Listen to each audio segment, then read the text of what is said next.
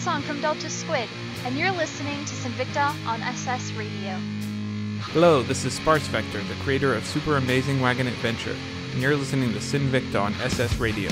Hey, this is Zettel, creator of Imba League and Husky Madness, and you are listening to Sinvicta on SS Radio. This is Chanman V of Wednesday Night Sprites and Climbing the Ladder, and you're listening to Sinvicta on SS Radio. Yo, it's Tempo from IVD Gaming, and you are tuned in to my brother Sinvicta on SS Radio. Hello, this is Nick Axavranish from Major League Gaming, and you're listening to Sinvicta on SS Radio. What's up, ladies and gentlemen? Boogie2988 here, and you're listening to my good friend Sinvicta on SS Radio. Live on Twitch TV and on the VODs here on YouTube.com. It's SS Radio, Radio, Radio, Radio. And now, here's your host, Sid Victa.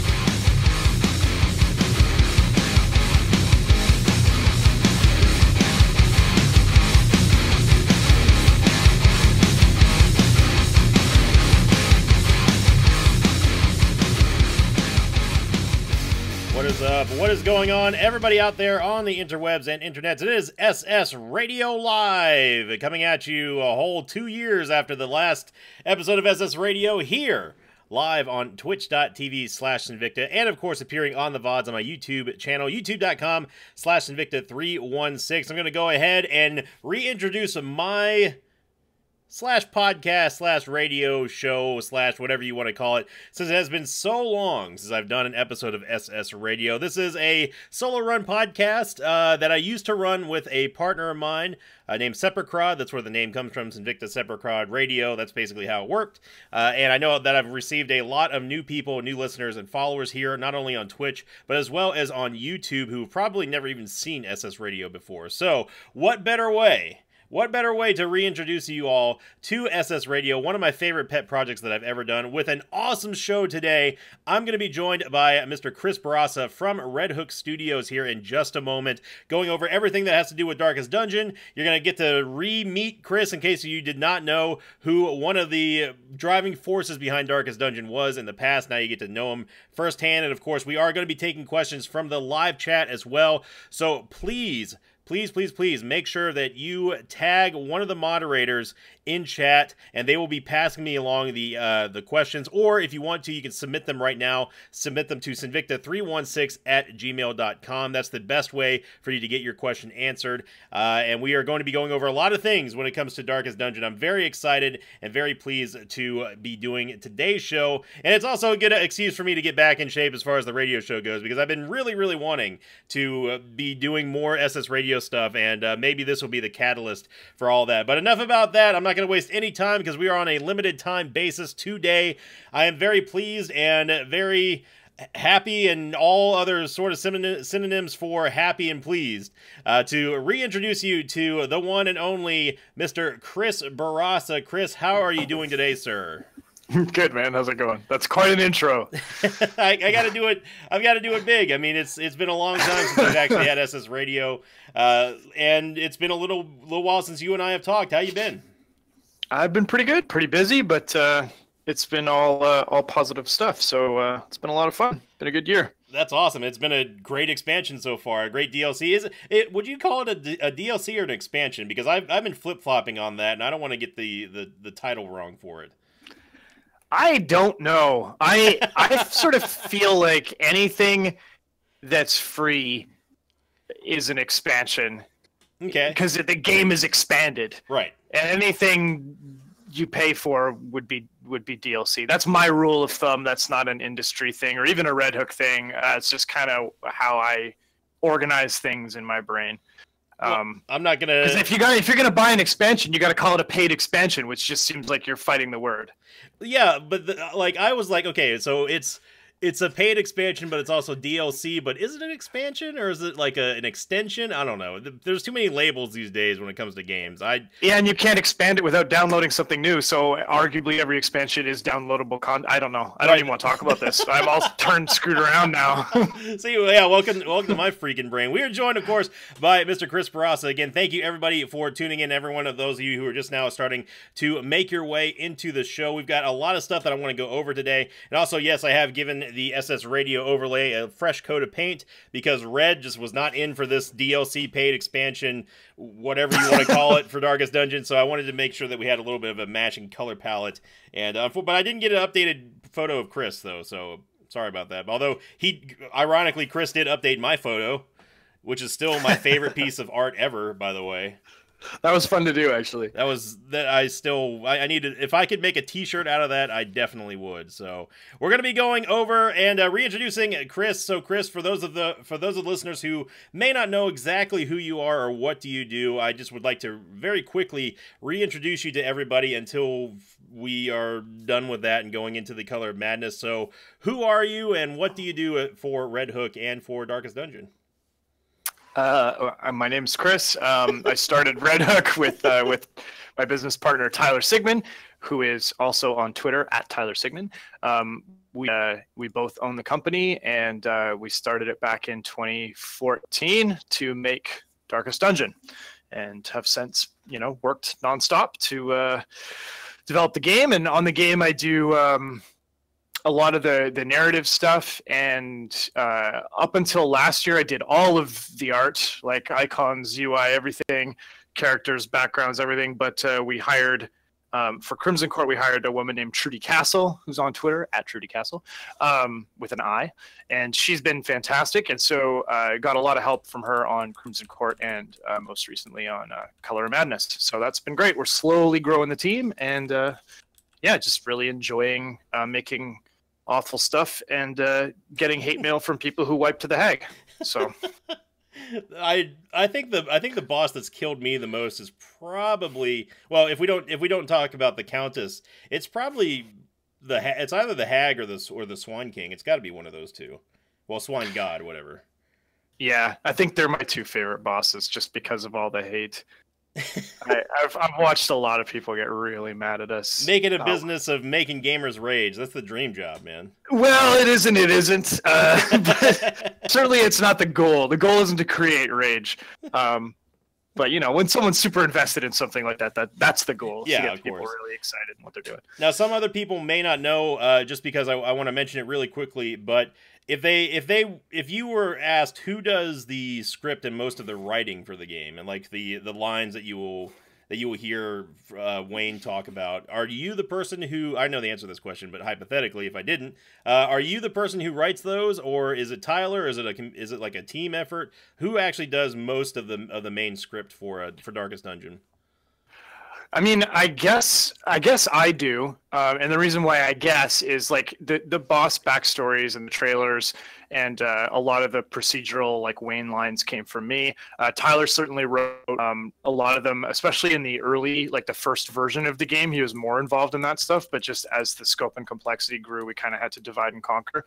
Um, and then a lot of the character barks early on were kind of split between Tyler and I, and then uh, Dana, uh, our senior designer, who is at Big Hot Sneeze on Twitter. Um, he's we brought him on initially to uh, to do some more character bark writing, um, the stuff that they sort of say when they're camping and when they get afflicted and that kind of thing. So everybody, you know, it's been kind of shared around a little bit, but I guess yeah, I, I do I do most of the of the heavy narrative stuff, like uh, the Crimson Court cutscenes and you know the the backstories for the bosses and that kind of thing. Who was the one who wrote the my favorite line in the game, which is still this this dungeon is too difficult for me in all caps. Was that you? I think I think that was one of Tyler's. Me and Tyler have a constant tension between being absolutely explicitly clear and that's that's his thing, you know, as a systems guy. And then I'm always like, no, but then they'll discover it, and won't that be amazing? so the all caps, I shouldn't be here. I believe I have to attribute to Tyler because I think I would have obfuscated it and then let people die and then hope that they figured it out, which may not be the you know correct path of action. that's great. You you and Tyler make a. Uh, I think you I think you two make a very unique team. Uh, it's it's. I mean, I know y'all are indie devs, but at this point, with the with the the smash success that is Darkest Dungeon and all the uh, all the content, you know, you guys have, have really done something outstanding that I don't I don't think a lot of other indie devs can really even talk about. I mean, I've seen some of the presentations that uh, that Tyler has done. You know, you guys, you, the the project that, that you two come up with is, is something that is truly remarkable, and uh, I I, I'm couldn't be happier to play. I, I'm very, I feel very, very happy. I don't want to say honored because that just sounds a little bit weird, but I feel very happy that Darkest Dungeon has become sort of a staple of of my channel and getting to know you and uh, and Tyler has been has been a pleasure. So if you got if if you those of you who are listening out there or watching this live, if you do not follow them, make sure you check the link down below. I will be giving you all of their contacts information on Twitter just so you can go follow them. You can tell them how much you love the game, or I guess in in some cases hate the game. I don't know why you would want to like do that. I, I would take a beat. I would take a beat. If you have a bad wipe, like just give yourself four hours Yeah. before you reach out to us. You yeah, know, yeah, we were. if you if you kill a boss, then by all means, like fire off that email right away. But Well, I won't be giving them your email, but I'll be giving them the Twitters. you can you can send them a you can send them a, a, an angry tweet if you haven't cooled down after four hours. Uh, but yeah, so we're gonna move right on in here to the meat and the potatoes of this show. Uh, unlike the last time that Chris joined me here for SS Radio, we're not gonna be specifically talking about Darkest Dungeon on the whole, but but we're gonna be guided and looking at the Color of Madness, the brand new DLC expansion paid, whatever you want to call it. I'm just gonna I'm gonna call it an expansion because gotta call it all three things now. Oh well, if I have to call it all three things, then then sure. Uh, but we're gonna dive right on in here. And again, if you do have really quickly, if you do have any questions for Chris, make sure that you're tagging my active mod right now, which is TannyVan609, who you might remember as the super duper one of the super duper broken Jedi's that we have in season four. Uh, he is going to be taking active questions, so he's going to be get, passing to me when we get to the live Q and A, which will be happening shortly after we go over the color of madness. But diving right on in here, uh, Chris, I guess the the most the broadest example of a uh, of a question that I could that I could propose to you about the color of madness is what was the main goal behind the design of the color of madness? What were the influences in, from the art and the or was there some sort of I, I know a lot of people were talking about some sort of cosmic uh, lovecraftian lore that has been apparently public for a while now. I mean i don't follow lovecraft still i still don't. Uh, but what was the overall general goal be, be, behind the design at, on the whole for the color of madness Uh, well, we um, we did Crimson Court, which was a very like intrinsically linked to the main story and really heavy on the narrative. Um, and that was a that was probably overscoped by like twenty percent. So it was a, an intense amount of work. Um, and then we kind of cooled off with with Shieldbreaker, but we we knew we didn't want to start just like issuing out single classes. right Um, so we were kind of recharging our batteries during that time and kind of asking ourselves, you know, what can we do? Um, and generally, the team kind of concluded that we didn't really, uh, you know, personally as well. I, I didn't feel like um, I had anything big to say about the story at that point. I felt like Crimson Court did a good job of. I mean, it certainly has its flaws, but a good job of exploring the sort of inciting incident behind the ancestor stuff. And um, you know, I don't know how many people listening may have beaten the game, but there's kind of a cyclical component to it, and uh, that makes it you know you can't just tack something on the end of a of a perfect circle. It doesn't really work. Um, so I we we wanted something a little bit more contained as well, scope wise, and uh, we thought it would just be fun to add a little bit more of an arcadey influence or like a high score chase influence, and uh, explore kind of like a, a wave mode thing. And uh, so we, from a narrative standpoint or from a thematic standpoint, we looked at uh, the Color Out of Space, which is an H.P. Lovecraft story, where like yeah, a comet or meteor hits this well, and then the farmer gets all dissolved by it and goes crazy, and it's one of his coolest stories. and uh, it's also a, a type of enemy that we hadn't done before, and you know the enemy roster is getting pretty pretty full. yeah it's, like, it's like we got robust now pigs and skeletons and witches and dogs and bandits and fish people and you know organic pulsing flesh together. cultists and yeah everything's in there so um husky crystal stuff is not something that we'd done before and just because i always want to give it you know just a slight tweak uh, we thought it would be cool if they were sort of almost like these weird soft organic dripping wet kind of crystals as opposed to like rock hard uh, geological formations, and that kind of keeps with the the whole kind of organic end game theme that we have, and um, maybe gives some of the enemies a bit of a phallic component, but uh, Of course, you- you half of horror is I half mean- of horror is sex anyway. So there, there, there it is. yeah, you gotta. I mean, you gotta. You have to cover all the bases, especially for the game. Now, the the game is is now complete now that we have fallacy in there, or uh, fallacy, phallic stuff in there. Uh, I think my my rule of thumb uh, has become: uh, I check with Tyler, and if he's somewhat uncomfortable with it, then I know it's it's a solid idea. It's a it's a go. no, no pun intended. He's somewhat uncomfortable with like gross bug vampire people, and I'm like, no, we can do it. He was somewhat uncomfortable with the like anus doors in the the darkest dungeon level three. He's like, really? And we're gonna go through in ten times. I'm like, hell yeah. And so he's like, I don't know about all these like dick crystals, and I'm like, yes. but make so, sure they're dripping and they're and, and they yeah. grow in size. if they if, if if they're not if the pressure isn't released, they will they will explode and do a lot of damage to everything around them. Uh, your words, you know. Oh, I mean, yeah, I'm just paraphrasing. uh, and again, for those of you just tuning in here, I am joined live here by Mr. Chris Bourassa, the uh, co-president, uh, co-founder, and uh, creative director of Darkest Dungeon. That's the, at least the title that I had last time we we did the show. I don't know if that's changed or not.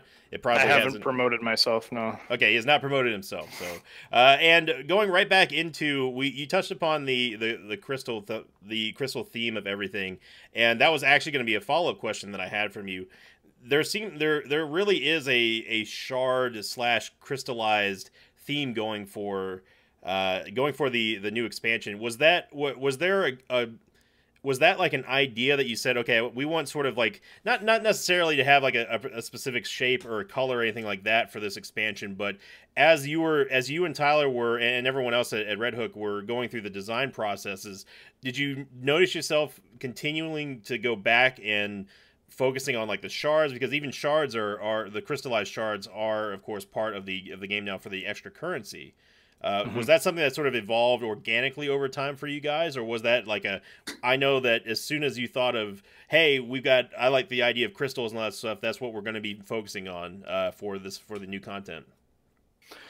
Yeah, I think for me, um, having a strong visual identity for every DLC or every sort of major patch that we do is is really important.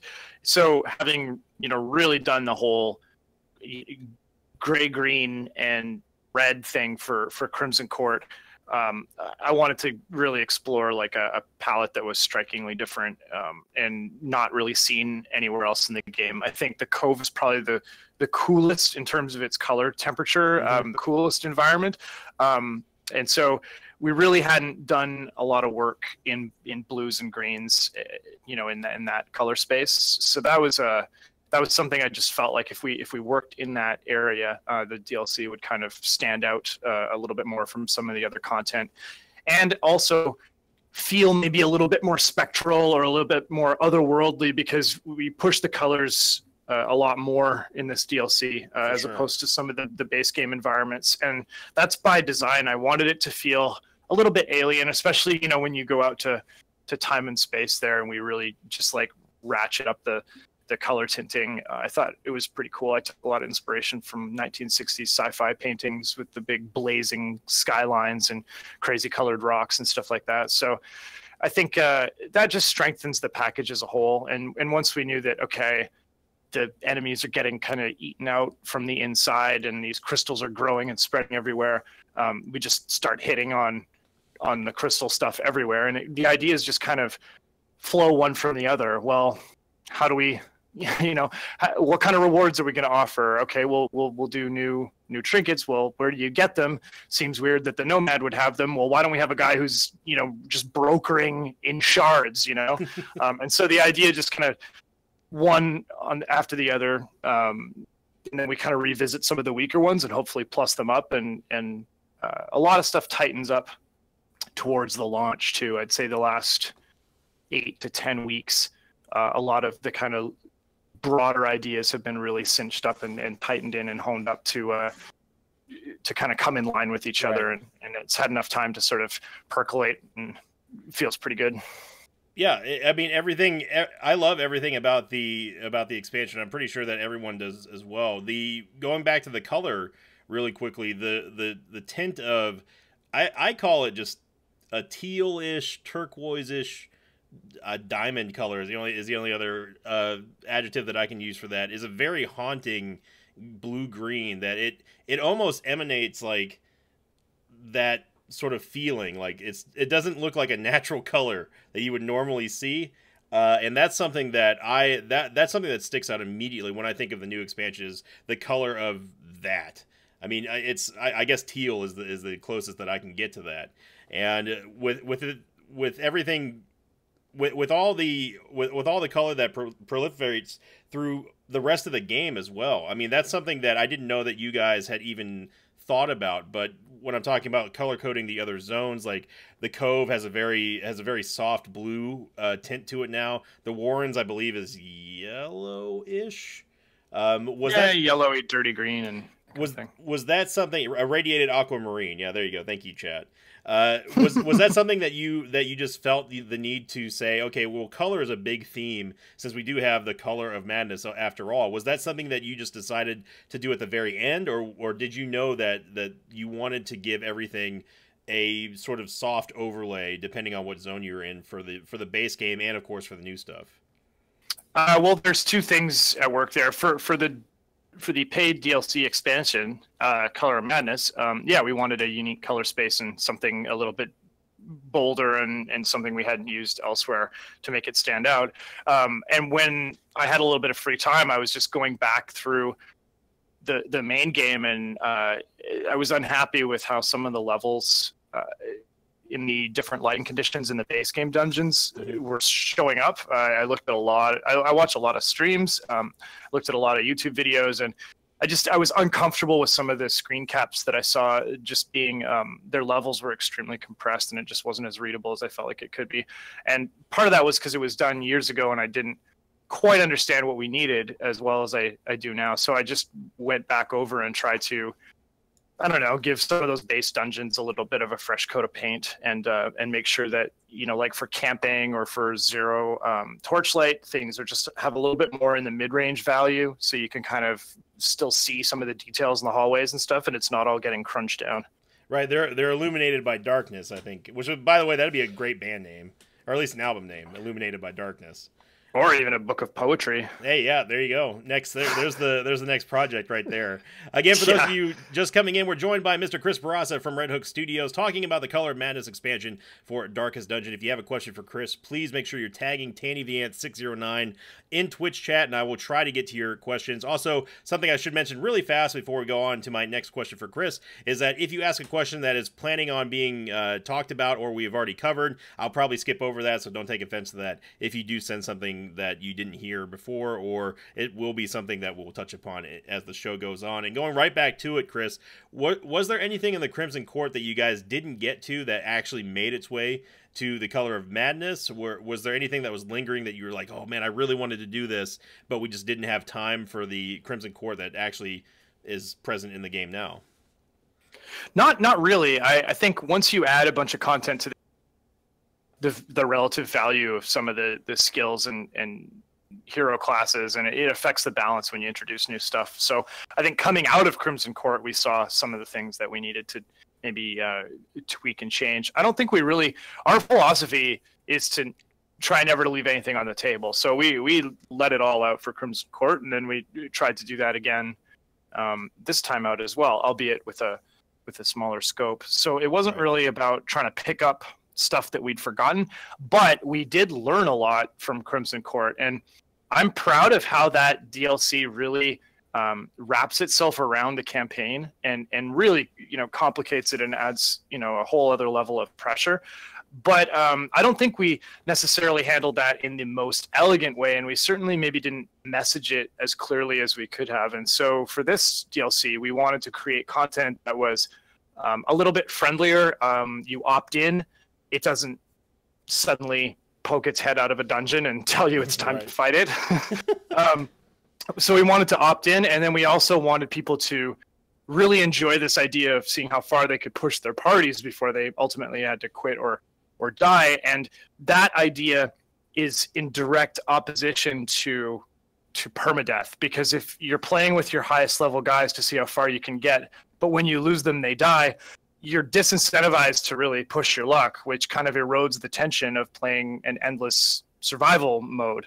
So right. that was one of the big inspirations behind having your um, your heroes just basically lost for a week and they come back stressed. So you have to pay down their stress a little bit. We tax you, but we don't take them away from you, so that you can continue to enjoy uh, in that content. So that was one of the big lessons that we took from from Crimson Court. I like that one of them is a bit more savage and insidious, and and this newer content is a little bit more welcoming. And you know, hey man, come play endless if you want, but if not, it's totally cool. I'm just gonna stay here.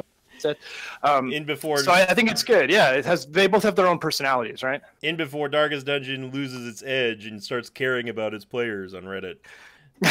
yeah, yeah. Uh, touching on that same uh, caveat real quickly, uh, were there any other mistakes or regrets that you had from previous design periods, whether it be the the base game or all the DLC leading up to the Color of Madness that you guys made sure wouldn't happen again, or did that sort of act as was there anything that acted as sort of like a design influence to make sure that hey we've learned from this mistake we're not going to do that again? Was there anything left over uh, from the previous design periods going into this project that you wanted to make sure was completely ironed out from the design process um i think the thing that jumps to mind the most is uh is playtesting. We released the early access and we you know build back in 2015 which is crazy to me now but um we released it like we were working on it till you know midnight 1 a.m and then we just flipped it live at you know 10 a.m the next day or whatever. Right, right yeah. Uh, for full release we had no we played it so close to the chest on what the darkest dungeon actually was that we had no metrics on how long it took to beat the actual game because there was never an end in early access it was just more content for the middle and then you know when we launched the full game we added the darkest dungeon to it and we couldn't play test that because we didn't want anyone to spoil you know the end of the story and what the end game content was going to look like.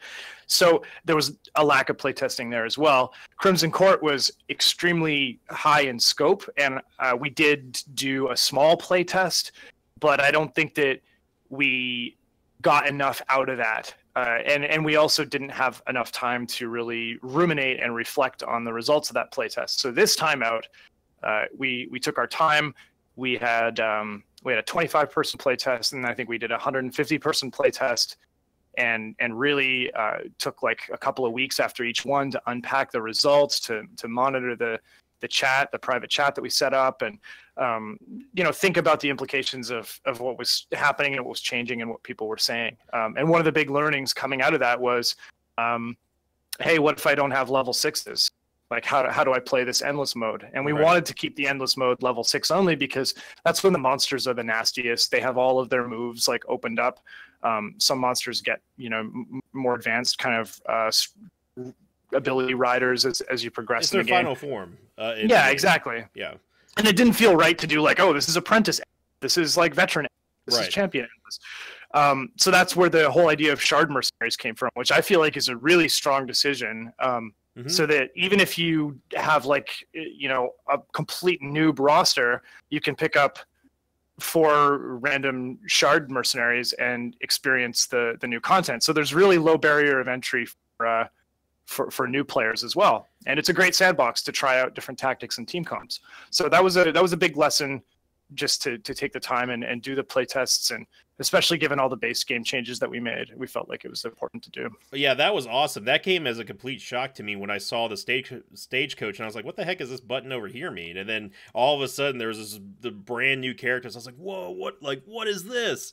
I didn't realize that there was going to be a separate uh, like game mechanic that allowed you to have different types of heroes uh, i wanted to give them custom skins that would for, awesome. for the it would have been awesome, but it would have been like a disproportionately huge amount of work. And then I think we're running really close to the memory print on Vita, and so then we couldn't bring right. this to yeah, like it just there was a whole knock on, but we talked about it for weeks because I thought it would just be so cool. People would freak out if they got like custom skins for their shard guys. But uh, hopefully the maybe the modders can pick it up from here.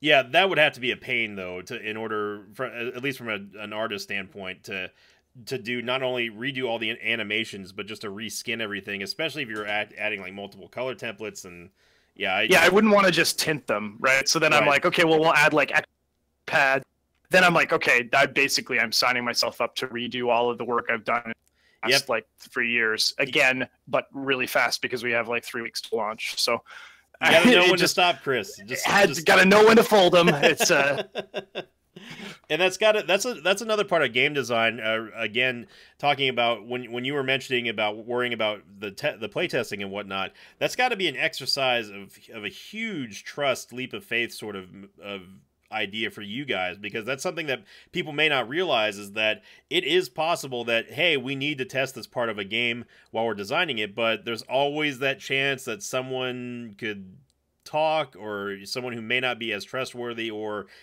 you have to like worry about like well what if their computer gets hacked and someone happens to just look at the at the at their desktop or whatever and they have to be a darkest dungeon fan you know? That that sort of thing you can't really stop these days. What I, I guess what was the what was finally the i where where did you get the idea to say we just have to do this with with people that we trust for the playtesting and sort of cast that fear off to the side because you know that going back to what you talked about with the Crimson Court and everything, that there really wasn't a whole lot of testing. Uh, you know, how how did you guys come to that conclusion? That you just say we just got to go for it. If it happens, we'll take care of it. Was it something like that? Uh, we reached out to a number of like fairly vocal. I don't want to say prominent because you know we're not a community and we didn't talk to the mayor but like um the mayor of darkest dungeon the mayor of darkest dungeon town it's just uh, wayne. Yeah it would be it would be. Um but i don't know if he actually plays the game so. But yeah we reached out to uh to people who are like really vocal and and seem knowledgeable and and helpful uh, mm-hmm. and positive on, on on Reddit at first, and, and some contacts that we had uh, internally and then we uh, we put out a call for applications and everybody uh, we just had like a ton of response. Um, i think we had over 700 responses and we knew we wanted to keep it around about 100 or so. Uh, and we just looked at like you know kind of we wanted all different play level experiences and we made everybody sign an nda and you know we but you can't prevent if someone gets their nose out of joint or someone's too eager like i positive too negative and they spill some of the beans i mean you really can't stop it. You just have to rely on the fact that these people opted in. They they wanted to do it. They signed an NDA. They showed up in our in the playtest Discord that we set up, and they're there talking to their other players. And you just have to believe that, like, you know, since it's an inherently positive, exciting experience, that uh, that people aren't going to go out of their way to to kind of sabotage it. And you know, of course, we didn't we problems. We didn't really expect any. We would have been surprised. I would have been surprised if someone was like, you know, leaked a bunch of footage or something like that. um, surprised and disappointed, but it would just be, um, it's just another bump in the, the road. like yeah. it's just the yeah. the way of the world that we live in in this digital age here. I uh, yeah, and that's a great resource actually to to be able to call upon if you guys need to test anything, anyways. Especially now that you know with the the people who tested the Color of Madness, you can actually go back if there's anything else that's go you know down the line that gets developed for Darkest Dungeons. Like, hey, we've got a we've got a, a pool of people here that are pretty that have already been sort of vetted by our process. So that's that's a really good amount of resource to have yeah, I think it was a really positive experience. It was neat to uh, responses and stuff like that. So, and again, for those of you just tuning in here, this is SS Radio Live coming at you here on twitch.tv slash Sinvicta live with Mr. Chris Bourassa from Red Hook Studios. And one final question before we hop on into the live Q&A, Chris, that I wanted to uh, ask you, which was about the music, because the music is very different yeah. in The Color of Madness than anything else that we've ever heard in the game. My personal favorite is Gleaming, is the theme for Gleaming, followed by, I think, Blazing uh, would be the the next one, and then maybe the Farmstead fight. But uh, was there was there a direction or theme that you had in mind whenever you were looking at describe at not describing the music, but but composing the music, or obviously I, I'm I don't know how much of the of the music design that you had a direct hand in, but was there any sort of overarching theme that you wanted this music to be vastly different from the rest of the game uh, when you were designing it? Yeah, our composer's name is Stuart Chatwood on Twitter at Stuart Chatwood. Um, he's fantastic. He's actually a legitimate like Canadian rock star. Uh, his band is called uh, the Tea Party, and I listened to them in university. So to have him, you know, work on the game, that's got to be uh, awesome. Is, yeah, it's pretty cool. It's pretty cool. Um, and he's such a pro.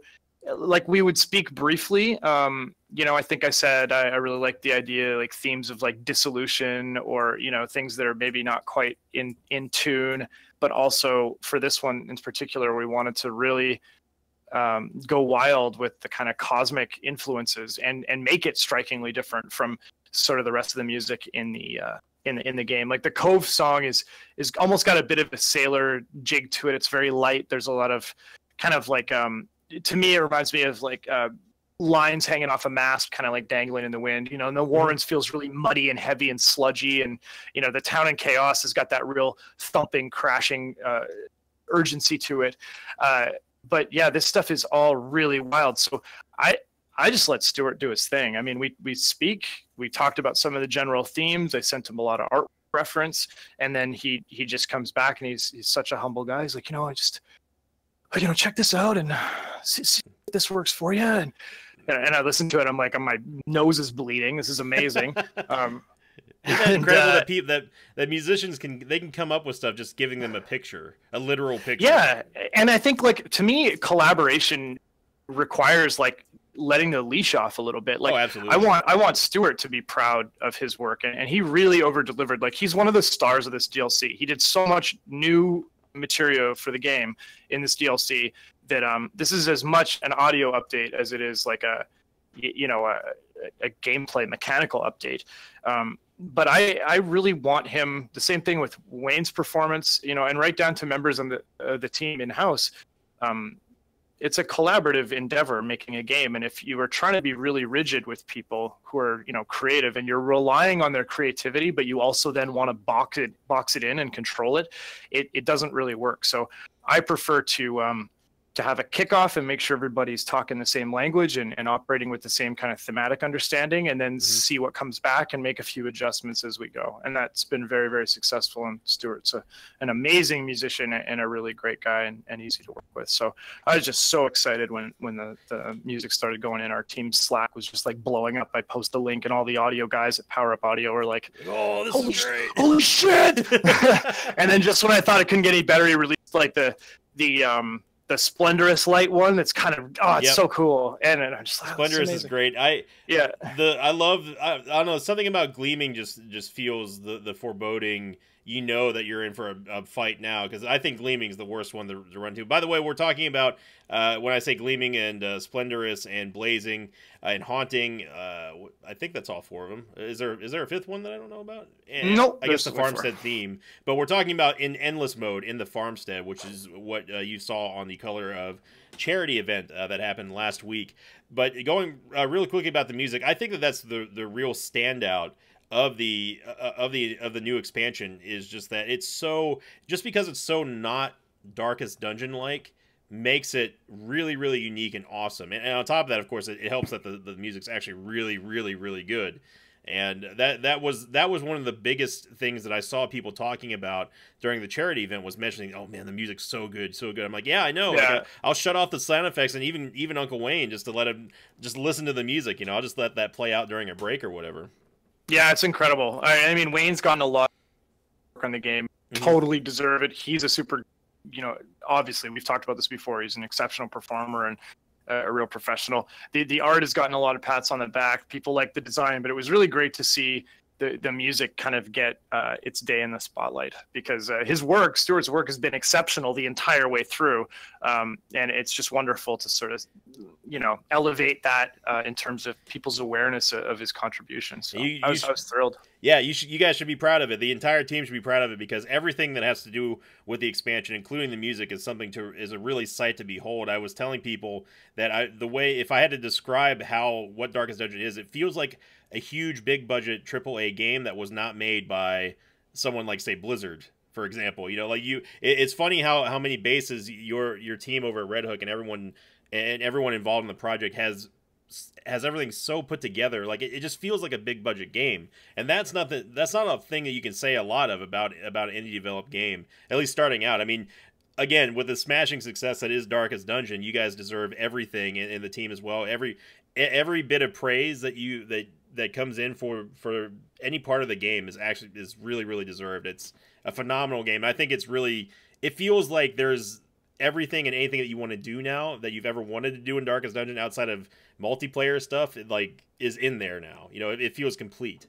Is I yeah, I think at. so too. I think so too. I think that's one of the reasons why I updated the the quest select map to give the the courtyard and the farmstead like a, a, visual home. It's kind of kind of feels like you know everything's where it should be. Absolutely. But I mean, you're only as good as your your last release. You know, so it's it's amazing that our game struck such a nerve and that it's been so successful. But every time we release a DLC, we we try not to take any kind of that past success as a guarantor of future Right. success. And I- certainly when we go to do another game, I mean, I think all bets are off. I think all the goodwill, hopefully, that we fostered we'll really just get our second game like a look. Like people will look at it. But if it sucks, people won't buy it and, and we'll have to, you know, die on that sword. So no, if it sucks, they're, it's they're a- just, they're just going to be carrying over all the bad will that you guys have earned through Darkest Dungeon. Right.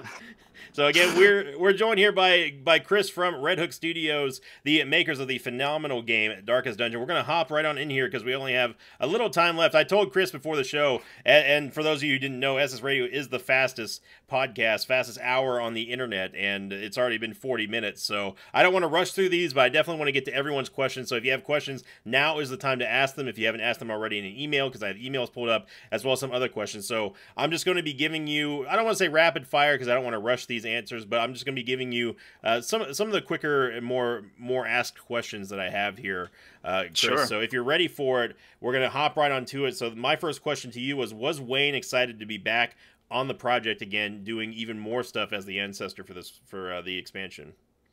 I mean, I think so. He's got uh, he's got a very rich voice, even when he's not um, performing, and he's always always keen and always like, whatever you need, man, I'm here. His emails are always. Sh- and they're just like, "Yep, I'm on it." Um, so, I mean, I think so. I don't think he's the type of guy to cheer and whoop and holler, uh, as far as I can tell. But uh, he was uh, he was more than excited to, to get on it, and and he's been um, working on uh, on the Dota pack as well. So I think uh, he really enjoys the content. I don't want to speak for him, but uh, you know we were we were thrilled to to have him pick up the phone once again, and I, I think he enjoys the work. So One day I'll be able to to get you, Tyler, and Wayne. I mean, I- in the same room. I, I guess none of us have ever proved that you aren't all the same person. So that's a that's another art of mysticism around uh, around that. Uh, so, and again, by the way, I should mention that none of these questions are are going to be directly chained to each other or anything that else that we talked about. These are more just random thoughts. yeah, it's fine. and questions. Let's go. Who has the highest kill count in the farmstead on the Red Hook team, including any of the of the composers or actors, or voice actors, or anything like that? Oh, uh, probably Dana on the on the Red Hook team. I think he's put in the most. Uh, he was doing all the uh, the monster uh, tuning and AI and stuff, so I think he's put in the most hours. Tyler focused on a lot of the uh, core game changes, Mhm. and uh, Trudi and I were banging out art, and Kid was doing engineering tasks uh, alongside with uh, Colin and uh, and Pierre. So I think it would be between Dana, maybe John, our producer slash uh, community uh, person. I know John between, plays a lot. between those two. Yeah, he pl- he plays a lot. Um, Yep. But none of us are as good as professional players. Like you know, watching what what you guys did when we released. Like, I mean. I guess also we don't have like eight hours. Like, it can't be like I'm taking the day Yeah. off to play my own game Yeah, you actually have to do you know, you in a actually have to do work. bathrobe. yeah, exactly. So, uh, you know, opportunity is part of it. Right. Um, but uh, yeah, I'd say it has to be between uh, one of those two. So, what is your sort of talk, talking about uh, about you, Tyler, or, or anyone else on the team, uh, but specifically you and Tyler? Uh, what is what is your favorite new feature, like the mechanic, or what's your favorite new mob or boss or trinket, etc. That now that the expansion is is done and, and shipped out, what what's your favorite new part about it? It doesn't have to be anything big or anything overarching. You can even just have a favorite trinket or something like that. I like the light effects. I, I, I something that we talked about, uh, Tyler and I have talked about for years, is like, what if we had like room modifiers? You know, so you're scouting. Mhm. Oh my God, damage room. You know, I, but it's got a treasure in it. You know, maybe there's some interesting tension there.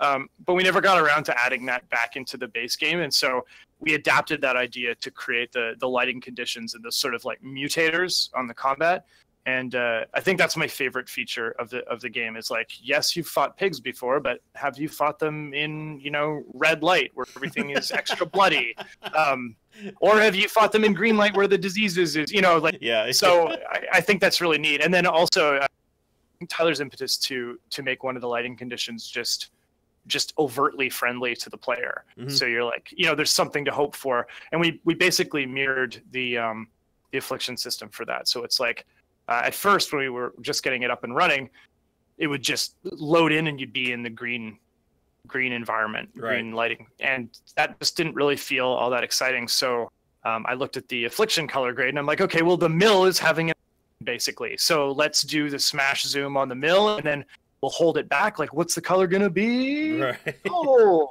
Um, and so yeah, and so splendorous is the the virtue light basically, and Right. and the other three uh, are hopefully make it a little bit a little bit harder and more challenging. Um, and uh, yeah, so I think that for me that that was my favorite feature.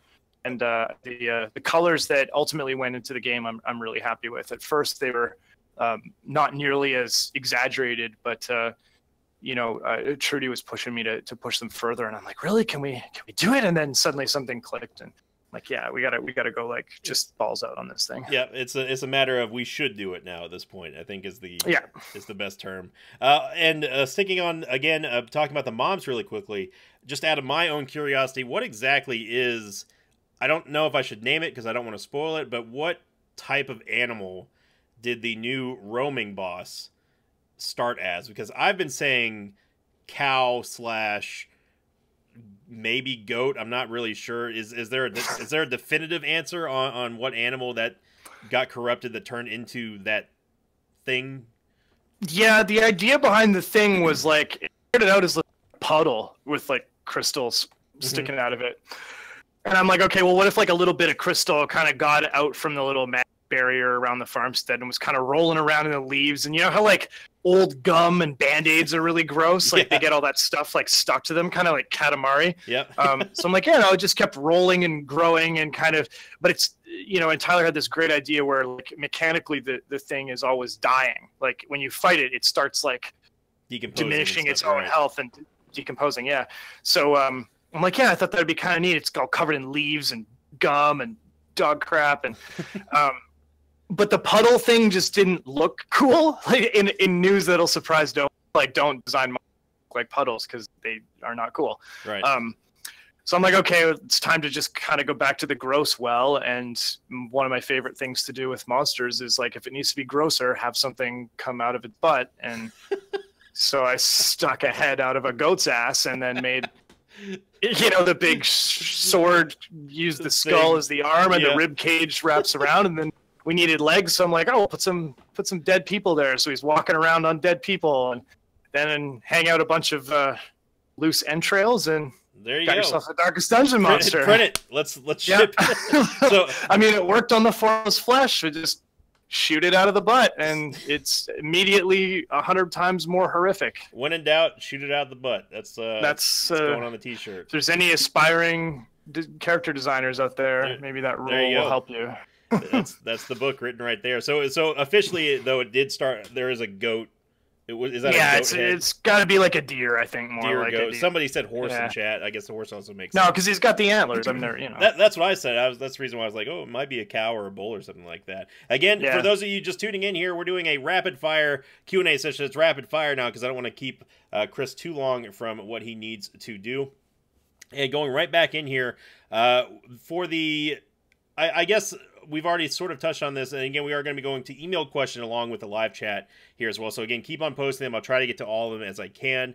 Uh, for somebody somebody wanted to ask you you know where what direction is red hook going to take next for for darkest dungeon this one was submitted uh, by uh by caster menor uh, he wanted to know what what is the direction that red hook where do you really go from here now with darkest dungeon at, now that the now now that the the latest expansion is out and uh, and everyone's been playing it and loving it uh, Darkest Dungeon Royale.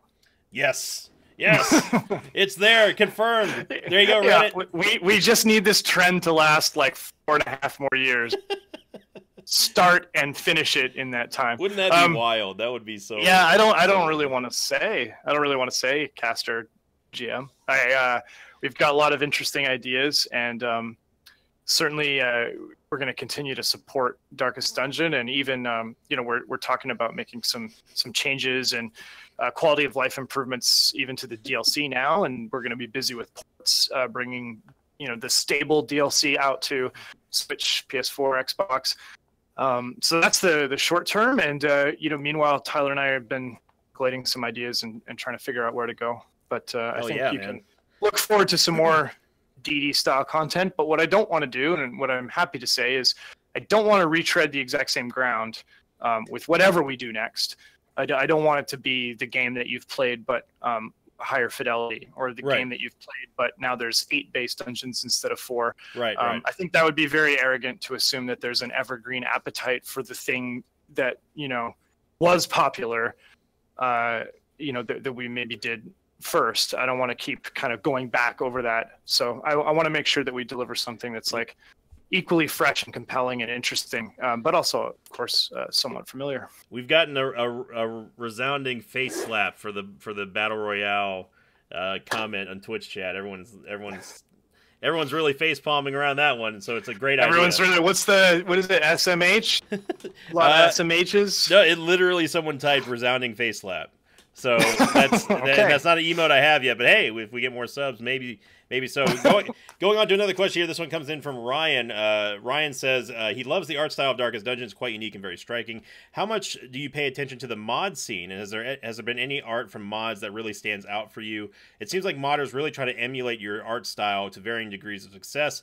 Uh, but it, was there any mod in particular that, that really is a standout as far as the art uh, that that the modders have done? By the way, very skilled modders in the in the community. I'm sure you were well aware of that. Yeah, yeah. I, I look through the uh, the Steam Workshop um, pretty regularly. I will say this: we don't play any mods, um, so that we maintain a distance from that in in the event that there's some like overlap uh, of of ideas. So internally, we have a policy of not playing mods. Um, that said, I think uh, one of the one of the most positive members of our of our community, you can find him on Reddit, is uh, is Marvin So, and uh, I actually got him to do the trinkets for the DLC, and we did a you know a polished pass in house to just make sure that they were on style. But he did some fantastic work for us, and he's done a couple of his own classes, and he's he- he's got a really um, high commitment to preserving the the style and, and tone of, of the game. He even does like origin story comics and stuff for them. So I think I think that's really cool. Yeah, uh, he to for those of you who, who who don't know the designer that Chris is mentioning, we use him on season four uh, for the Falconer, the Lamia, Thrall, I think, and the Thrall. Yeah, but the, I don't think I'm using the Thrall in season four. But that that is the modder uh, who who Chris is mentioning, and also of course worked on the the trinkets like Chris just said. Um, but was there was there any sort of influence, I guess, for the last part of this? Uh, that Ryan wanted to know was there any anything out of the modern community that actually influenced anything in the design? Maybe not specifically, but have there been cases of you guys see a mod and be like, actually, that's a really good idea, and has that been brought? not into the really i mean not really. We don't we don't go looking at the mods to try and get ideas. We have spoken to some of the more prolific modders and solicited their thoughts. Mhm. um, but we we do that outside of their mods. So we, like that they're building a mod is interesting. They obviously have a high level of familiarity with the game. And uh, you know we've on a, on a number of occasions reached out to some of those people and and uh, paid for their time to collect their thoughts on the base game um, just as a matter of like uh, discussion and feedback and, and to generate some some ideas internally but we don't look at mods and then go let's do what's in there Let's put Jedi's in the game. yeah let's put anime eyes on everybody and I, I've seen some pretty risque mods out there on the on the workshop. I don't know if you know that or not. I was browsing. yeah there's a lot of darkest dungeon Yeah. eroticism out there which is cool i mean go nuts and i think one of the most amazing things about mods is like you can you can do whatever you want i think it's cool Yeah, going into the the next question here, we have a we have a couple minutes left. So again, I want to make sure we try to get through all of these for those of you who have been asking. This one comes from Wadriak, uh, and don't try to pronounce her name because I still don't get it right. Uh, but she says uh, Darkest Dungeon is clearly based on a cosmic horror game, but this type of horror things are never exactly described. This probably gave you a lot of freedom when designing the characters and backgrounds. Was it difficult to cope with this freedom, or did you find it liberating somewhat that that the that that that sort of origin for the Lovecraftian art style is never truly actually described physically in some way? And of course, uh, what helped you figure out the designs, especially in regards to the final dungeon and the Shambler, uh, specifically? She wanted to ask. Cool. I think that uh, you know this idea that cosmic horror is somehow different regular horror. I think there really only cosmic horror is the best kind of horror there is. I Mhm. think when you know what the thing is, you can't be afraid of it. Like fear thrives in uncertainty. So when at the point point in the movie when you're like, oh, it's a serial killer, oh, it's a monster, um, it's no longer scary. I think when you don't know the answers and you don't know what you're up against, that's that's where fear, you know, really really lives. So that that was the idea with the entire, um, you know, certainly with the game, but cer- absolutely with the uh, with the back end and the darkest dungeon areas where the scope of what you're dealing with grows exponentially. So it used to be pigmen and worms, Right. and then it's cultists, and then it's um, oh shit, there's stuff growing up from everywhere, and then it's and, and now you're in space and you're fighting a heart. And I'm totally spoiling the end of the game now, but um, well, then you're like, oh, this the, the Earth is an egg, and thing is like it's so horrible. Um, and so that that idea that the cosmic insignificance of humankind, um, and and these like just appalling revelations, I think are are really big inspirations for me when I when I try to make horror. And then as far as capturing that in art, um, I think it's just about. I, I mean, I don't know. Like, you never. It's always going to be like a little thing. I think you know, Darkest Dungeon still has that element of kind of cuteness. So I think that allows uh, for a bit of a bit of play. Right. Um, but but really jumping contexts, I think, is a big a big important thing from Darkest Dungeon two to three, where you're like, wait, what? Like those moments where we really surprise the player, and even mechanically on the final boss. I'm totally spoiling the game. Um, when he does the come unto your maker move, we deliberately break the UI flow to create the same uncertainty in players the first time they experience it um, that the heroes would be having. And and it's not you know directly the same. You're not looking at the end of the world Right. uh, as a player, but you don't know. You think everyone hangs. They're like, wait a second, is the game bugged? Like, what's what? Huh? And that that sense of being unsettled. Uh, What's going to happen? Really, What's going to happen? I don't know. Yeah. What's the input? What am I supposed to do? Am I supposed to choose someone? Yeah, the the Are we greatest supposed to choose someone? Yeah. the greatest fear about the greatest fear of all time is the one that you can't easily define or see. It's something that isn't readily apparent, and and and you know, I guess it's sort of open to interpretation in a way. I've never been an artist, so I can't say for sure. But something that immediately brought to mind was it.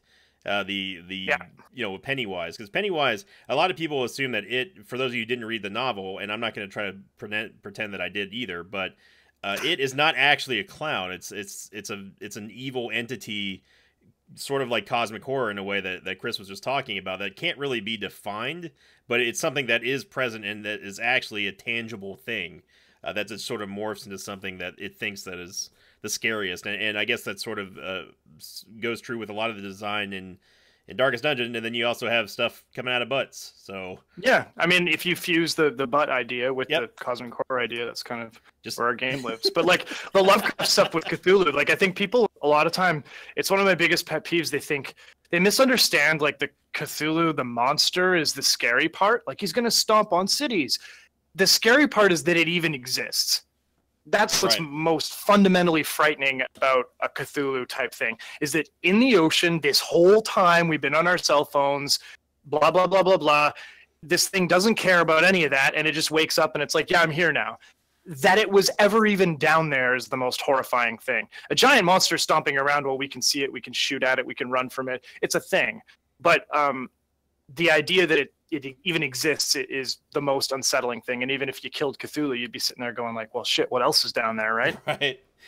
Yep. Uh, and again, I'm going to be giving these. We've got we've got maybe another uh, five or six minutes or so. So I'm gonna I'm gonna get through these questions as fast as, I can for you all here in the live chat. And of course, those of you who emailed them, thank you very much. Uh, this one comes in from Chicken Dash, and Chicken asks you, uh, is there is there any is there any hard coded abilities that will ever become moddable? So, for example, uh, the the examples that he gave were like, for example, would would you be able to eventually mod a way to cure a disease or quirk in battle outside of, I guess, the the the camping and the and the curio uh, section is the is is the example that he gave. So, like, I, I guess like if you get diseased, would you be able to mod something in the game that can actually remove the disease or even have a chance to remove a negative quirk, something like that?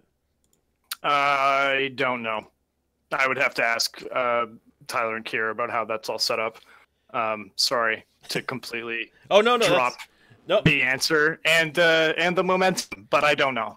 okay, and the another question uh, also comes in from Chicken Dash. Is he said, "It was there any? What was the craziest idea that you had for the game, but you weren't allowed to do it because of budget uh, restrictions or time restrictions?" Hmm. And also, if it's something, if it's possibly something that you and Tyler are tossing around, just you can feel free to no comment on that as well. No, I think for me personally, the biggest thing that I wanted to do that I couldn't because of budget and time was make those shard mercenaries like look like legendary tier versions of all the heroes. I thought that would just be super sweet. that would be Um, awesome. and and and would pay off the idea better and would make the DLC like you know be a more exciting uh, product. But so for for me, that was probably the biggest thing that had to get left on the on the cutting room floor. Right. Uh, next question comes in from Alex. Alex says, with many games being high stake, high stakes in, in many games make sort of sort of dissuade the player from acting out of fear of losing the progress, which we've already talked about. I'm assuming he's talking about the, the endless mode. Uh, how did how did you keep the gameplay tense enough and nerve wracking enough without making it too stressful to be playable and sort of encourage uh, people to try out the new features with the endless mode and that sort of thing? Well, yeah, the um, like we were talking about earlier. I think having your guys to you forever uh, and just basically kind of taxing, you know, their their uh, stress levels when you get them back in town was was the biggest thing we did there to just encourage you to to get in there and try it. And, and if you lose guys, it's it's really not the end of the world. Uh, we already have the Shrieker uh, in the game, and so once you lose enough trinkets this way, the Shrieker will pop up, and you'll be able to go get them back as well. Um, so we wanted that. to, yeah, we wanted to, and we're actually adding. An activity log entry that tells you when the shrieker has taken your trinkets to just increase the transparency around that feature. Um, so, I mean, I think that's that's probably the biggest thing we could have done. Um, we are still fine tuning endless, and we have some really interesting ideas on increasing the pressure as you go.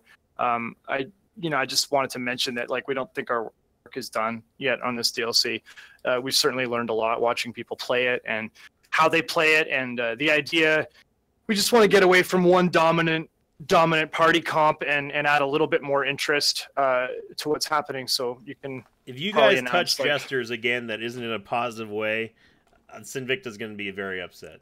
You, I you think that's fair. You killed the clown car, man. I can't use the I- clown car anymore. i'm a pro jester guy listen but when you see the viscount go down in one finale as opening move it's like it's not you know it's just not working. And i think that's the hardest thing about being a developer honestly it's like some of these strategies or, or moments that we see happen or, or meta strategies that become dominant let's say in in the streamers or the youtube uh, community like some of them we really love and it's really cool to see but then when you extrapolate or look at the implication of it you're like there's there's actually something broken here. So a lot of times the nerfs aren't meant to be punitive which is sometimes what people can read into the patch notes. They're like Right. oh they're punishing this strategy.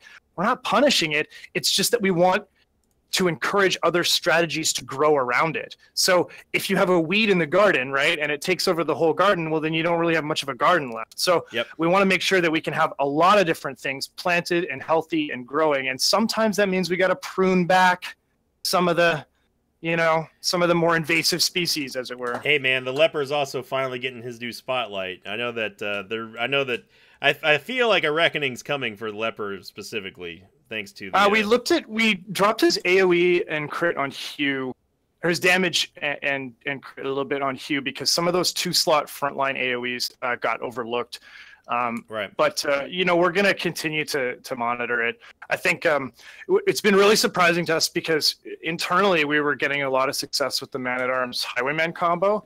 If you buff Grape Shot, um, Grape Shot now has a debuff, uh, which increases the crit chance on enemies to receive.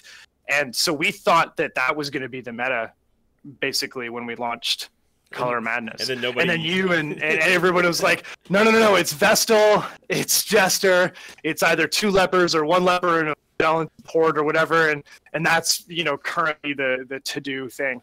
Um, so we're looking at ways that we can um, it foster growth and and um, open up other avenues to you know big number success in endless that don't require that comp but we're not explicitly looking at ways to nerf um, Right. the nerf is just usually something unfortunate that we have to do to kind of bring things in line with each other but it's not it's not like we you know Yeah. rub our hands gleefully together to get damage you know, They're we're, we're finally making a liking- game They're finally Yeah. liking the leper. We can finally Yeah. touch him now. yeah let's ruin him let's, Let's make it let's pull a batman on him so like he's the hero of gotham hey, man. villain Bat- Batman's the bounty hunter. Don't you remember? It's true.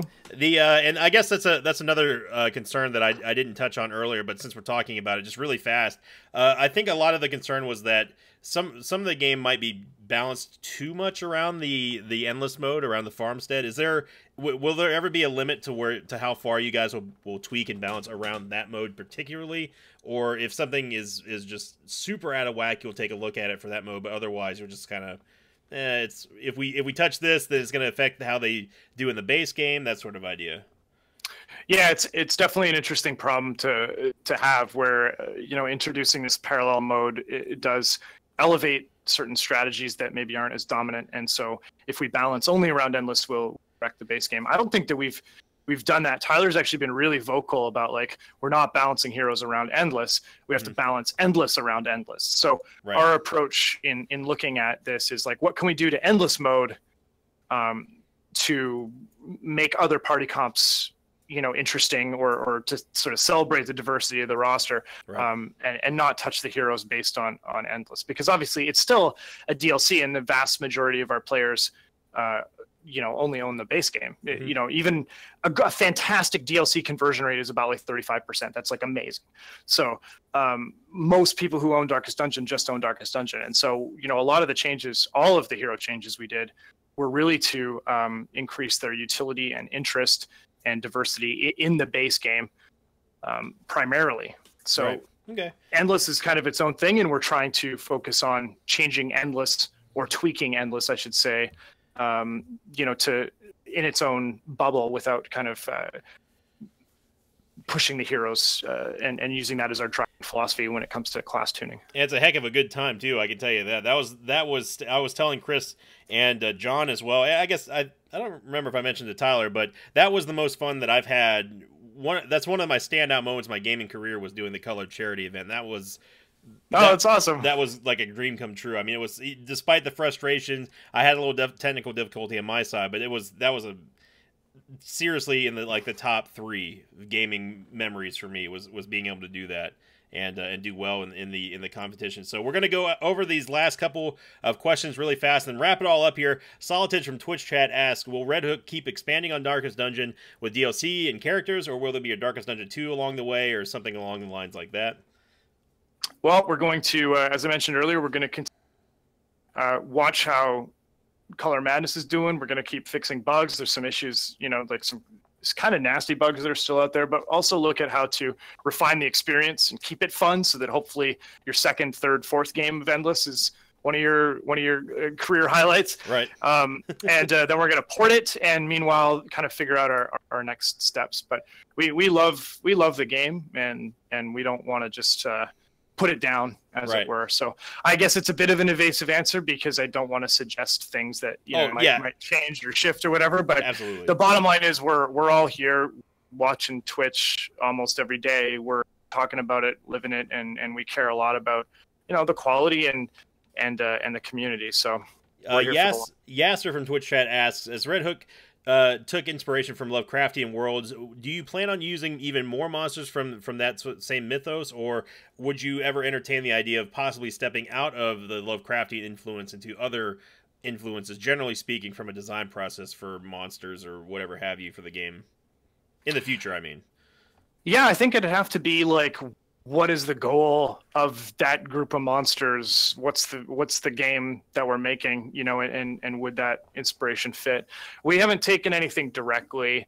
Like i don't want our i want our game to be somewhat lovecraftian in its influence but i don't want to be a lovecraftian game if that makes sense. So yep. we don't have like cthulhu and dagon and all of his classic boys um traipsing around you know we but we do want to like like we're all big fans of that of that genre um, yeah. I don't know that that'll totally change. We did name our company after a Red Hook store, after a Lovecraft story. So I think Lovecraft is always going to be a part of of what we do. It's certainly been a, a big influence on me, and I, am a huge horror fan. So um, I think like tonally, there's always going to be some amount of of his DNA kicking around in there.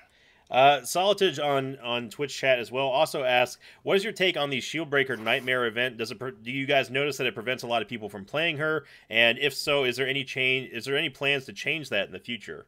St- That's a great question. Shieldbreaker. So, we didn't. We walk this line where we want to interesting stuff. We don't want to come out and explain how everything works and then you just go through and play it. Mm-hmm. Um, and so for the Shieldbreaker, she has seven nightmares, and they each, uh, you know, unlock her trinkets. And then when you're done, she doesn't have any more nightmares, and she gets a camping buff every time you camp with. Her. So she goes from being the worst person to camp with to being the best person to camp with. Um, now we didn't message that clearly enough, and we're actually talking about doing um, a once over Crimson Court and and Shieldbreaker and looking at some of these pain points because the prevailing impression is that she always has a and so I think we just dropped the ball in terms of finding a clever way of communicating that this is a temporary thing and you're actually working through emotional baggage every time you, she goes to sleep. Um, and we I sort of thought, okay, you know, it, the journal entries or whatever you get when you beat the snakes, there's like one of seven, two of seven. You know, that should tell people, right, that there's only seven of these things. But I don't think it's coming through, and I think that that's something that we that we want to look look at. But the idea was always that since we're launching a, a DLC of just a character, how can we sort of create a bit of a story arc um, and and add value t- to that to that DLC. Right. So it's not just she shows up in the stagecoach. Here are her skills. Here are her trinkets. Yeah, it's enjoy. not something that someone could have just modded and be like, "Here you go." Like, yeah, yeah. I see what you're saying. I, I'm definitely guilty of, of perpetrating the the idea that, uh, and I guess it sort of speaks to what you were talking about about uh, communicating it clearly from from y'all's standpoint. Is that I, I'm guilty of saying of just not using her because I'm like she's just a pain. Like she's not worth doing, and I didn't know up and up until very recently. I didn't even know that the nightmares actually stop after a while. Uh, yeah, that's on us. That's entirely uh, sort of like we didn't we didn't effectively c- communicate that um, we we played that too close to the chest. So Twitch has um, like Twitch has is showing like light bulbs. Like, oh my god, it actually ends. Like they're they're typing about that right now. Actually, a lot of people. Yeah, yeah. Know. I did. I know. I didn't know about uh, that. Nightmares actually ended until a couple weeks ago when someone mentioned it to me. Uh, maybe on Friday we'll just tweet to everyone. the nightmares do end. that I, you know what, you could probably get away with that, and that would satisfy a lot of people's that would quell their their frustration with that character because she really yeah. when the nightmares happens it really is not worth taking her and what i've been telling people i'm like yeah she's just i treat her like an occultist man i'm just like or or the or i guess the the pre dlc a bomb where he was limiting your your party compositions uh, right, right. Where it's just like it's like I could take them, but why do that when I can take another class that just does what they do but better, sort of idea uh, without having to worry about that. So three more questions, then we're going to wrap it up here because Chris has to go. Um, what is your uh, the I. Uh, this this one comes from Doom Drake thirteen. Uh, they say that uh, that he he hasn't seen any insect vampires in any other fantasy or sci-fi setting that he can remember. What made you choose insects for the Crimson Court specifically? Um, I always try to look outside the genre that I'm working in for inspiration. I think if all you do is reference things that exist already, um, you're uh, sort of on a path to be derivative. So even the, the hero classes, I didn't look so much at traditional low fantasy uh, you know 1545 to 1562 plate armor um, i looked at superheroes uh, because i wanted a, an, an, iconic quality to the heroes. Mm-hmm. Um, so for Crimson Court, I just looked at nature. I looked at what actually uses blood to live: ticks and and um, leeches and mosquitoes and um, things that literally suck blood, as opposed to seductive seductive men with glittering diamond abs, you know, or or Tom Cruise from 25 years ago. Those are certainly interpretations of vampires, but I wanted to get away from that stuff and not do vampires inspired by vampires because you right. get like a photocopy of a photocopy of a photocopy and the picture doesn't look so good uh, after a while and so uh, it was just uh, you know uh, our attempt to give a fresh take on the idea of, of vampirism and, and treat it more like a like an insect plague you know right. like kind of a disease that gets uh, passed along in the bloodstream and that kind of thing. Uh, two more questions here. Uh, uh, RSA says, uh, or asks, uh, how much did the colors in endless mode? How, how did you match the colors in endless mode to their names and light effects? Like what, for example, gave you the idea to, to associate the word blazing with blue or gleaming with red, etc. um, I would love to deliver a carefully crafted answer that suggests that This by virtue of our foresight and intelligence, we crafted this entire thing from the ground up, and every little piece always fit together the whole way through. Here's the actual truth: it used to just be called blue, yellow, red, and green. You'd mouse over the torch, and it just say it would just say fucking green, and then it would have the effects. Um, and and then as we, because it wasn't a priority, like it works. Okay, Right. it's fine. So now we're we're solving all these other problems and fixing bugs and whatever else. And then. Uh, as we got closer to release, we're like start to polish things up and kind of clean up the floor a little bit, and you know, and uh, we tried a couple of different ideas and ultimately just settled on adjectives you know, without without mentioning what the colors are. Because I'm like, it's pretty obvious that it's green. Like the whole screen is like blazing green. I'm like, I don't think we have to say green when you're looking at that much green. It's pretty clear. Um, Twitch so we just thought it like would be neat to- hashtag i- illusion shattered. yeah, yeah. But I mean, that's kind of part of it. Is like the more you work on something, the more um, the more the rough spots kind of come through, and you're just trying to, with the time you have, polish and sand down those rough edges as much as possible before it has to go out the front door. Um, so that that is the story of how Gleaming came to be called Gleaming. There you go. And the final question here comes in from Free Kill Gaming. Uh, I already know the answer to this, but it'd be a really quick question for you to answer. Uh, did Chris, uh, was it Chris yourself, or was it someone else who casted Wayne June in Darkest Dungeon? By the way, really quickly, Free Kill, we actually talk about that in depth in my first interview, so make sure you go check that out on YouTube, and I'll let Chris answer that really quickly. Uh, I was a freelancer. Uh, I'd work very late at nights and listen to Lovecraft audiobooks narrated by Wayne June. They are fantastic. They're still out there. You should go and, and support him that way and, and, and pick those up. Um, but uh, when we went to do the trailer, we wanted to make sure that we didn't overextend ourselves to see if there was back to market for the type of game or the tone of game we wanted to make. So uh, I wrote the trailer, did the art. We got Stuart to do the music, and we realized, look, we don't want to have flying title cards come in and, and announce features like build a party, do a thing. I, you know, it just didn't. Forge your legend. Yeah, whatever, yeah, whatever else the, the mobile games say. Rise of War. Yeah. Um, so we didn't want to do any of that, and so I said, okay, let's do something really narrative, you know. And then Tyler's like, well, probably need a VO guy. I'm like, well, I don't know what we do. I guess we can email an actor, you know, studio or whatever, and uh, or an agency. What about that guy? There's no way. There's whatever. And he's like, well, just email him. So I emailed him, and then replied. He's like, yeah, I'll do it. And so we cut the trailer with his voice.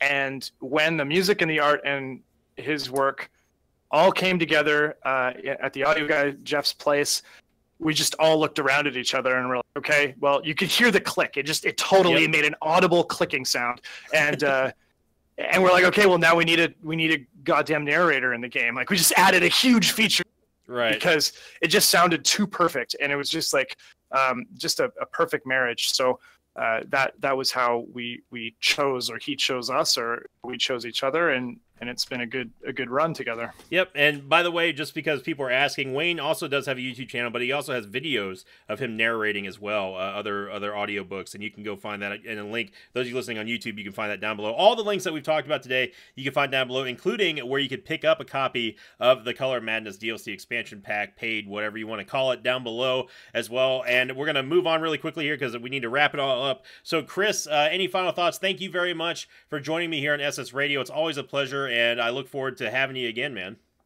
uh, i really appreciate the invite and it's it's awesome to be able to uh, have people that are keen enough about what we've done to to tune in and, and, and listen and, and to play it and it was a really uh, it's been a very there's been a lot of great highs and some pretty terrible lows throughout the course of, of developing the game but um, you know having having all you guys dogpile the the dlc when it came out and and you know exploring the new content and that sense of uncertainty that everybody has is, is like a really big reward so i'm just so grateful that you know you can pull an audience playing our game and that our, our game sells well enough i can pay my mortgage so i'm, I'm just very grateful for the whole enterprise um, so thanks for having me You got you guys absolutely deserve it. And again, everyone make sure you go follow everyone that we've mentioned today on Twitter. And also, of course, you can post and share your love uh, for Darkest Dungeon and Chris. We're gonna wrap this up. I'm gonna let Chris go because he should have been out of here like five minutes ago. So thank you again, Chris, for joining me here. Thank you all for listening here live and in person as well. I do appreciate that. And of course, if you're listening here on YouTube as well, leave a comment down below. I'll make sure to forward anything